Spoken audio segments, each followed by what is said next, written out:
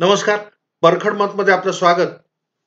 आज आपण ज्या लोकांना सगळ्यात जास्ती उत्सुकता आहे मराठा आरक्षणाच्या अंतिम निर्णयाची अ, त्यांच्या त्यांच्यासाठी जो महत्त्वाचा विषय त्याच्यावर थोडस बोलायचं एमपीएससीच्या आणि इतर अ, ज्या रिक्रुटिंग एजन्सीज आहेत त्यांच्यातर्फे महाराष्ट्र शासनामध्ये भरतीसाठी ज्या प्रक्रिया राबविल्या जातात त्याच्यातून शासकीय सेवेत असणाऱ्या अधिकाऱ्यांची नोकऱ्यांची भरती करण्यात येते. आणि मराठा आरक्षण लागू होईपर्यंत महाराष्ट्र शासनाने धोरण म्हणून नोकर भरती स्थगित ठेवली होती. आणि इतर अनेक कारणांबरोबर तुंबून राहिलेली जी पदसंख्या आहे ती वाढत वाढत गेली.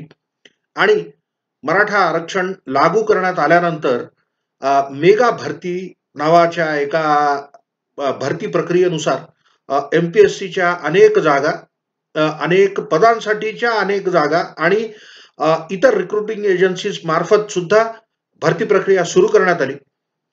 अर्थात मराठा आरक्षण लागू केल्यानंतर त्याला यथोचित आव्हान देण्यात आलं. आणि त्या आव्हानांच्या याचिकांच्या सुनावणीच्या दरम्यान कोर्टासमोर हा विषय आला की जर आरक्षण लागू करून ही मेगा भरती केली तर त्याचं नुकसान होईल खुल्या प्रवर्गातल्या लोकांना. कारण अजूनही मराठा आरक्षणाची वैधता कोर्टाकडून ठरवायची होती. त्यामुळं मराठा आरक्षणातल्या याचिकाकर्त्यांनी ह्या भरती प्रक्रियेला स्थगिती मागितली. अर्थात सरकारने ते तसं करायला नकार दिला पण एका हिअरिंगमध्ये असं झालं होतं हे आठवतं आणि याला संदर्भही सापडतील की कोर्टाने विचारलं की तुम्हाला इतकी गडबड काय? आम्हाला ही मेगा भरती म्हणून जे तुम्ही सुरू केलेलं आहे या भरतीची इतकी गडबड काय? आम्हाला त्या कायद्याची वैधता तपासण्याची संधी द्या. आणि त्याच्यानंतर जे काय करायचे ते करा. याच्यानंतर जेव्हा याचिकाकर्त्यांतर्फे ह्या प्रकरणामध्ये तो अर्ज जो आहे तो प्रेस करण्यात आला. म्हणजे स्थगिती द्यावी त्या कायद्याच्या अंमलाला किंवा भरती प्रक्रिया थांबवावी असं सांगितलं तेव्हा सरकारकडून त्या बाबतीचे निर्देश घेऊन सरकारी वकिलांमार्फत असं कोर्टाला सांगण्यात आलं की ही जी भरती प्रक्रिया आहे ही भरती प्रक्रिया अनेक महिने चालते. त्याच्यामध्ये वेगवेगळे टप्पे असतात आणि या वेगवेगळ्या टप्प्यांमध्ये होणाऱ्या परीक्षेसाठी जो कालावधी लागतो त्या कालावधी तो कालावधी संपावा लवकरात लवकर लवकर भरती व्हावी म्हणून आम्हाला अ, हे जे इतर सर्व टप्पे आहेत ते टप्पे पूर्ण करू द्यावे. आणि कोर्टाला महाराष्ट्र सरकारतर्फे एक आश्वासन देण्यात आलं एक हमी देण्यात आली.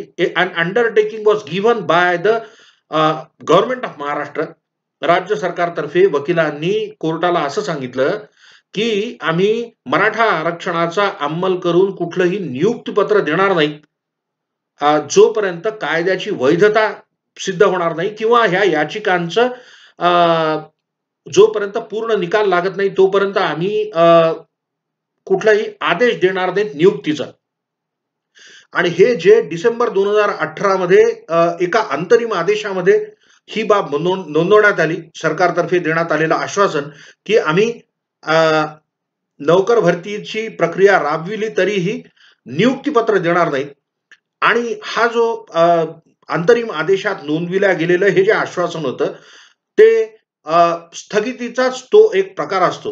म्हणजे कायद्यामध्ये त्या आश्वासनाचं जर कोर्टाने तसं नोंदवलं की असं आश्वासन देण्यात आलेलं आहे तर त्या आश्वासनाच्या विरुद्ध आश्वासन देणारा पक्ष वागू शकत नाही. म्हणजे सरकारला ते बांधील होतं ते जे आश्वासन दिलं होतं त्या आश्वासनानुसार सरकारने पुढील आदेश येईपर्यंत नियुक्तीपत्र देऊ नये असं त्या आश्वासनाच्या लिखित स्वरूपात आल्यामुळे म्हणजे कोर्टाने त्याच्याविषयीचं निरीक्षण नोंदवलं आपलं. It was observe in an interim order noted in an interim order त्याच्याविषयी अंतरिम आदेशात नोंद झाली. की असं असं सरकारने आश्वासन दिलेलं आहे आणि त्याच्यानंतर भरती प्रक्रियेला पुढं सुरू राहिली ती भरती प्रक्रिया जी होती ती. आणि हे जे अंतरिम आदेशात जी नोंदलेल्या गेलेले जे आश्वासन होतं त्या आश्वासनाची वैधता मराठा आरक्षणाचा अंतिम निकाल हायकोर्टात लागेपर्यंत म्हणजे जून दोन हजार एकोणीस पर्यंत राहिला. ह्या दरम्यान अनेक जाहिराती निघाल्या.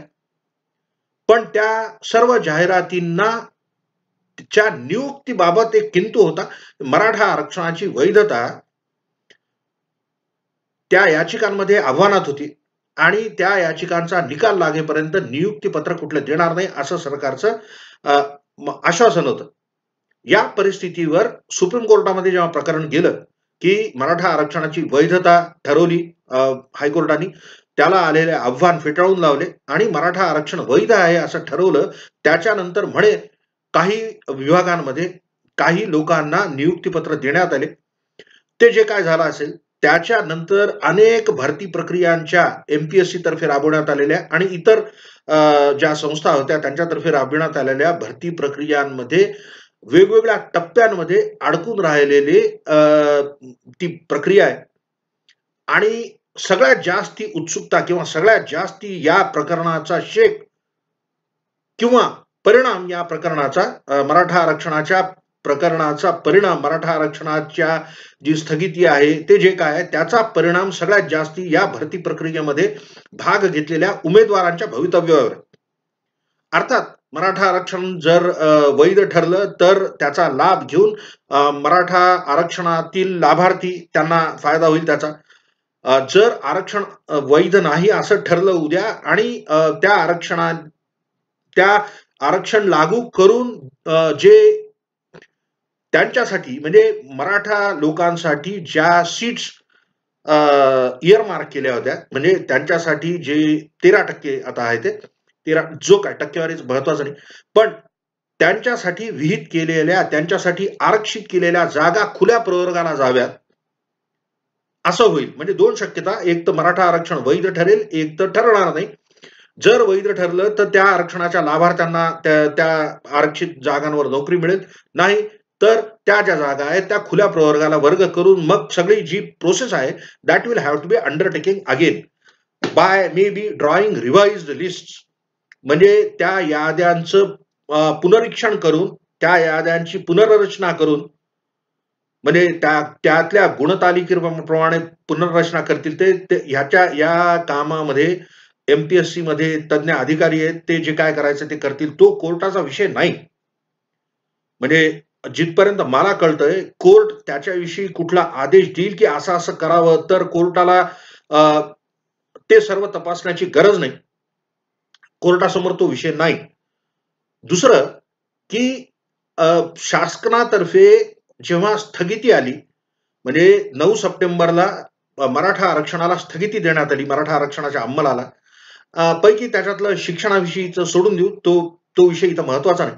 पण म्हणजे शैक्षणिक प्रवेशाविषयीचा आदेश तो इथं महत्त्वाचा नाहीये. दुसरा भाग जो आदेशाचा होता तो असा होता की इथून पुढे मराठा आरक्षणाचा अवलंब करून कोणालाही नियुक्तीपत्र राज्य शासनाने देऊ नये. असा जो आदेश होता त्याचा परिणाम असा झाला की त्याच्या पुढून भरती प्रक्रिया सगळीच्या सगळी तात्पुरती थांबवण्यात आली तुरंत. आणि ह्या आदेशामध्ये एक नमूद केलंय सुप्रीम कोर्टाने की ह्याच्या आधी झालेल्या नेमणुकांविषयी हा आदेश लागू राहणार नाही. म्हणजे ज्या नेमणुका ज्या नियुक्तीपत्र निर्गमित करून त्या नियुक्तीपत्रांच्या आधारे ज्या लोकांची पदस्थापना झाली ज्या लोकांच्या नेमणुका झाल्या त्यांच्या नेमणुकीला ह्या आदेशाचा कुठलाही परिणाम होणार नाही. म्हणजे त्यांचं कदाचित रेग्युलराईज होऊन जाईल कदाचित. का काय त्याचं पुढं होईल ते या आदेशाचा त्याच्यावर परिणाम होणार नाही. अर्थात जेव्हा एखाद्या आरक्षणाला आव्हान देण्यात आलं तर त्या आरक्षणाचे लाभान्वित जर त्या आरक्षणाला आव्हान देण्यात आलं असेल तर त्या आव्हानांच्या अंतिम निकालाला ती पूर्ण भरती प्रक्रिया बांधील राहील. आणि आरक्षण जर देऊ करून नेमणुका देण्यात आल्या असतील तर त्या नेमणुकांचं काय करायचं ते पुढे कोर्ट ठरवेल. इथं प्रश्न आज जे आपण बोलतोय ते असं की नऊ सप्टेंबरच्या आधी ज्यांचे नियुक्तीपत्र देण्यात आलेले नाहीत आणि या आदेशामुळं काही भरती प्रक्रियांमध्ये असे काही भरती प्रक्रिया आहेत ज्यांच्यामध्ये अंतिम निवड यादी प्रकाशित झालेली आहे. किंवा एमपीएससीनी त्या त्या लोकांची नावं यांना नोकरी देण्यात यावी अशी शिफारस करणारे पत्र सुद्धा शासनाकडे पाठवलेले आहेत. मागच्या वर्षी कोविडची कंडिशन होती. चार मेला एक शासन आदेश निर्गमित करण्यात आला होता की कुठलाही नियुक्तीचा आदेश देण्यात येऊ नये. कोविडमुळे जी आर्थिक परिस्थिती झाली होती राज्य सरकारची त्याच्यामुळं चार मेच्या शासन आदेशानुसार कुठलाही नियुक्तीचा आदेश कुठलाही नियुक्तीचा आदेश निर्गमित करण्यात आला नाही. मराठा आरक्षणाच्या स्थगितीसाठी जेव्हा सुनावणी लागली तेव्हा राज्य शासनातर्फे कोर्टाला हे सांगण्यात आलं की असा असा एक शासन आदेश आहे. आणि म्हणून स्थगिती देण्याची गरज नाही असं एक स्थगितीच्या एका सुनावणीमध्ये राज्य शासनातर्फे देण्यात आलं. आणि राज्य शासनातर्फे सुप्रीम कोर्टाला हे सांगण्यात आलं की पंधरा सप्टेंबर पर्यंत आम्ही कुठल्याही प्रकारचे नियुक्तीपत्र देणार नाहीत. म्हणजे प्रकरण जेव्हा न्यायप्रविष्ट झालं त्याच्यानंतर अंतरिम आदेश जो आला डिसेंबर दोन हजार अठरा मध्ये किंवा जी आश्वासन देण्यात आलं राज्य सरकारतर्फे की आम्ही नियुक्ती देणार नाहीत त्याच्यानंतर जून पर्यंतचा पिरियड. ह्याच्यामध्ये जी कुठली भरती प्रक्रिया सुरू झाली असेल आणि त्या भरती प्रक्रियांमधले नियुक्तीपत्र अजूनही निर्गमित व्हायचे असतील तर त्या प्रक्रियांमध्ये कुठल्याही स्टेजला जरी ती प्रक्रिया असली वेगवेगळ्या त्याच्यामध्ये टप्पे आहेत आणि वेगवेगळ्या भरती प्रक्रिया वेगवेगळ्या टप्प्यांमध्ये आहेत. अशा प्रकारचा अशा अर्थाचा एक अर्ज राज्य सरकारतर्फे जेव्हा स्थगिती उठवण्याचा अर्ज सादर करण्यात आला ज्याच्यावरची सुनावणी नऊ डिसेंबरला झाली तेव्हा त्याच्या आधी राज्य सरकारतर्फे अशी अशी परिस्थिती आहे. आणि आम्हाला ज्या लोकांचे नियुक्तीपत्र केवळ द्यायचे राहिलेले आहेत त्यांना नियुक्तीपत्र देण्याची परवानगी द्या अशा अर्थाचा अर्ज सुप्रीम कोर्टासमोर सादर करण्यात आला होता. त्याच्यावर कुठला आदेश सुप्रीम कोर्टाने दिला नाही. आणि मग परिस्थिती काय झाली की नियुक्तीपत्र ज्यांचे निर्गमित करायचे फक्त प्रोसेस राहिलेली आहे ती जे फक्त पूर्तता करायची बाकी राहिलेली कुठल्याही कारणाने का असेल ना ती सरकारची दिरंगाई असेल ती एमपीएससीनी ते तशी शिफारस पत्र दिले नसतील किंवा कोविड साठीचा जो शासन आदेश असेल त्याच्या परिणामामुळं नियुक्तीपत्र देण्यात आले नसतील तरी पण कायद्याची परिस्थिती अशी आहे की अंतरिम आदेश जो स्थगितीचा देण्यात आला त्याच्यानंतर त्या स्थगिती त्या आरक्षणाचा अंमल करून स्थगित झालेल्या आरक्षणाचा अंमल करून कुठल्याही प्रकारची नियुक्ती देता येणार नाही. जोपर्यंत की आता या प्रकरणाचा अंतिम निकाल लागत नाही. आता अंतिम निकाल मराठा आरक्षणाच्या प्रकरणाचा लवकरच लागेल अशी आशा आहे. कयास लावतात सगळेजण? कयास लावण्याशिवाय दुसरं काही नाहीये. कारण जे जे एक आहे जो कयास लावण्यासाठी असं आहे की ही जी आरक्षणाची सुनावणी घेण्यात आली ही आरक्षणाची सुनावणी एका कालबद्ध कार्यक्रमानुसार घेण्यात आली. म्हणजे पंधरा तारखेला ते सुनावणी सुरू होईल आणि पंचवीस तारखेला संपेल याची कार्यक्रम पत्रिका आखली होती. आणि हे कोर्टाने त्या आदेशात नमूद केलं होतं. त्याप्रमाणे सुनावणी झाली. काही नवीन एक प्रकरण आलं म्हणून ते प्रकरण सव्वीस तारखेपर्यंत सव्वीस तारखेला सुद्धा सुद्धा त्याच्यामध्ये सुनावणी झाली. पण या प्रकरणाचा अंतिम निकाल लवकरच येईल अशी अपेक्षा आहे. तोपर्यंत कुठल्याही प्रकारचे नियुक्तीपत्र देण्यात येणार नाहीत. आता मूळ गाभा विषयाचा आजचा की अनेक लोक मला विचारतात युट्यूबवर कमेंट्समध्ये आणि इतर काही प्रकारे विचारणा ही येते की या ज्या भरती प्रक्रिया आहेत या भरती प्रक्रियेमधल्या विद्यार्थ्यांचे इंटरेस्ट प्रोटेक्ट करेल का सुप्रीम कोर्ट? किंवा त्या परीक्षार्थ्यांचं काय? ज्यांचे अंतिम निकाल लागलेले आहेत पण ज्यांची म्हणजे अंतिम निवड यादीमध्ये ज्यांचं नाव आहे पण त्यांना नियुक्तीपत्र मिळालं नाही. अतिशय स्पष्ट सांगणं कायद्याची परिस्थिती अशी आहे की जर म्हणजे आणि हा आता पुन्हा कयासाचा भाग जर तर बोलणं नको मला नाही आवडत ते बोलायला. पण ज्या शक्यता आहेत ही एक शक्यता आहे पन्नास टक्के तर आहेच आहे की मराठा आरक्षण अवैध ठरेल. मराठा आरक्षण वैध ठरेल ही दोन्ही समप्रमाणात ते चान्सेस आहेत असं धरून चालू आपण. त्याच्याविषयी काय काय नाही ते भाष्य करणं प्रकरण कोर्टामध्ये आहे तर ते योग्य नाही. की when the matter is sub judice speculation be made is not a good form तर सांगणं असं की जर आरक्षणाचा आदेश किंवा जे मराठा आरक्षण जे आहे ते अवैध ठरलं तर काय? ह्याच्याविषयी सांगणं की जर मराठा आरक्षण अवैध ठरलं तर कोणालाही कोर्टाला हे सगळे जे प्रक्रिया आहेत ह्या प्रक्रियांबाबत सांगितलं शासनाने. कोर्टाने त्याच्याविषयी बहसही करण्यात आली. बरी म्हणजे नऊ डिसेंबरच्या सुनावणीमध्ये त्याच्याविषयी बरंच मांडण्यात आलं. कोर्टासमोर त्याच्याविषयी युक्तिवाद करण्यात आले. अधिसंख्य पदांवर अशा लोकांना समावून घेण्याची परवानगी द्यावी असा सुद्धा एक युक्तिवाद राज्य शासनातर्फे मुकुल रोहतगी यांनी केला. कोर्टाने त्याच्यावर काही भाष्य करण्यास नकार दिला. की तो कोर्टाचा विषय नाही. पुन्हा एकदा सांगतो. कोर्ट त्याच्याविषयी काही भाष्य करेल असं मला वैयक्तिक वाटत नाही. जिथपर्यंत माझं अंडरस्टँडिंग आहे माझं जे समजतं जितकं की कोर्टामध्ये प्रकरण आहे ते महाराष्ट्रातल्या मराठा आरक्षणाच्या कायद्याच्या वैधतेचं. कोर्ट इतकं ठरवेल की तो आरक्षणाचा कायदा वैध आहे की नाही आणि आरक्षणाचा अंमल जो स्थगित केलेला आहे तो त्या अंतिम आदेशामध्ये मर्ज होईल. एक तर तो आदेश कायम होऊन पुढं ती जी स्थगिती आहे ती स्थगिती अब्सोल्यूट टर्म्समध्ये कन्वर्ट होईल. म्हणजे इथून पुढे देण्यातच येऊ नये असा तो आदेश येईल अंतिमतः. किंवा मग ते शक्यता जर अशी असली की मराठा आरक्षण वैध ठरलं तर काय? तो तो प्रश्नच नाही मग. पण राज्य सरकारतर्फे जरी काही प्रयत्न झाले तरी त्या गोष्टीला बाधा आहे आणि हे मी माझ्या आधीच्या एका व्हिडिओमध्ये सांगितलं होतं. आता पुन्हा एकदा सांगणं. आणि हे जरा कळायला क्लिष्ट वाटलं तरी मी I will try to make it as easy as possible to understand समजायला सोपं जावं असं सांगतो. डिसेंबर दोन हजार अठरा ज्या की जोपर्यंत कुठलेही आदेश निर्गमित झाले नव्हते अर्थात जाहिरातीच निघायला सुरुवात झाल्या डिसेंबरमध्ये आणि जानेवारीमध्ये. तर त्याच्यानंतर जून दोन हजार एकोणीस पर्यंत महाराष्ट्र शासनाचं आश्वासन होतं कोर्टासमोर की आम्ही या भरती प्रक्रियेमधून कोणालाही नियुक्ती देणार नाही. हा जून पर्यंतची ही परिस्थिती काही भरती प्रक्रियांची. त्याच्यानंतर जून दोन हजार एकोणीसच्या नंतर ज्या नियुक्त्या दिल्या गेल्या त्या नियुक्त्या दिल्या गेल्या. त्यांच्याविषयी कोर्टाने सांगितलं की त्या नियुक्त्यांबाबत आम्ही अंतरिम आदेशात तरी काही नमूद नाही. बाकी पुढे त्या नियुक्त्यांचं काय करायचं तो प्रश्न आपल्यासमोर नाही. आपल्यासमोर आहे की ज्या लोकांच्या परीक्षा झाल्यात ज्यांचे निकाल येणं बाकी आहेत किंवा निकाल आलेत अंतिम निवड यादही लागल्यात नियुक्तीपत्र देणं बाकी आहे. ह्यांच्याविषयी असं सांगणं की त्याच्यामध्ये दोन वर्ग आहेत. एक तर ज्यांच्या जाहिराती दोन हजार एकोणीस जूनच्या आधी आल्या होत्या. त्यांना सरकारचं ते आश्वासन बांधिलंय जे आश्वासन होतं त्याच्यानंतर तर स्थगितीचा आदेश आला. म्हणजे मराठा आरक्षण वैध नाही असं ठरलं तर ह्या विद्यार्थ्यांविषयी वेगळी काही तरतूद करण्याचं कोर्ट काही करणार नाही असं माझं मत आहे. हे सांगायला अवघड आहे फार.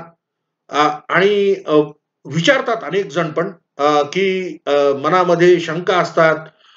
पुढचं पाऊल काय उचलायचं ते समजत नाही. तर त्यांच्या माहितीसाठी हे सांगणं की त्या पहिलेच्या आश्वासनामुळं आणि नंतर आलेल्या स्थगितीमुळं ज्या लोकांचे नियुक्तीपत्र अजून इश्यू झालेले नाहीत ज्या कुठल्या भरती प्रक्रिया होत्या कुठल्याही टप्प्यात का असेना पण त्याच्यामध्ये मराठा आरक्षणाचा अवलंब होणार नाही जर मराठा आरक्षण अवैध आहे असं ठरवलं तर. आणि मला असं वाटतंय की that should answer the queries of people म्हणजे सर्वात जास्ती माझ्या व्हिडिओजना बघण्याची उत्सुकता असणारा वर्ग तोच असावा असा माझा कयास आहे. आणि त्यांच्याविषयी मला सहानुभूती आहे. मी माझे मित्र कैक मित्र माझे शासकीय सेवांमध्ये त्यांना लाभ व्हावा शासकीय सेवेचा ह्याच्यासाठी अभ्यास करायचे. हे बघितलेलं आहे मी. काही इंजिनियर्स होते काही इतर पदांसाठीचे होते. बरेच लोक लागले नोकरीमध्ये बऱ्याच लोकांना लागले नाही. त्यांची घालमेल काय असते ते किती मेहनत करतात? त्यांच्यासाठी मनोरंजन नावाची गोष्ट नसते. दिवस रात्र अभ्यास करतात परिस्थिती चांगली नसते आर्थिक.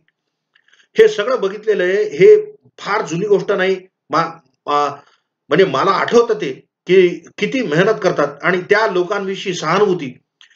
But all I can offer them is की पुढे भरती प्रक्रिया अजून होणार आहेत. एमपीएससीची परीक्षा एक परवा झाली त्याच्या आधी पोस्टपोन झालेली परीक्षा एकवीस तारखेला झाली. त्याच्यामध्ये अनेक इच्छुकांनी भाग घेतला असेल त्याच्यात ज्याला त्याला वांछित यश मिळो ही आशा.